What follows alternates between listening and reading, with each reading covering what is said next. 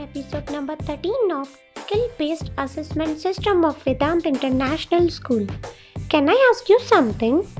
Okay, tell me that a tomato is a fruit or a vegetable? Okay, I tell you, in a normal life, we all are considering tomato as a vegetable. But you know, on a scientific based, tomato is a fruit.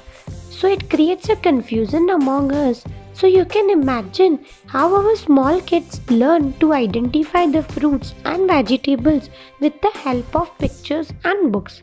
So let's move towards some practical and playful learning. See how easily and logically our kids are identifying the fruits and vegetables. Let's have a look. and fruits. Very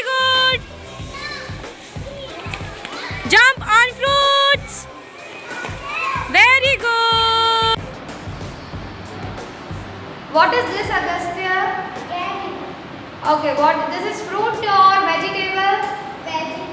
What is the color of cabbage? Green. Green. What we make from it? collect fruits and vegetables in the basket. Very good. Collect fruits in fruits basket and vegetables in vegetable basket. Very good. Excellent.